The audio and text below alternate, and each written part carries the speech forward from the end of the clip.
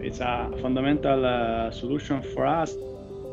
For me, it's surprising uh, how people work together in order to improve uh, the performance and there, there, there is a competition between uh, different staff in order to have the best feedback uh, now score people from uh, clean staff, uh, for, from security staff, from uh, terminal staff engaged. They see the performance day by day, have more insight so we can improve our passenger experience thanks to FeedbackNow.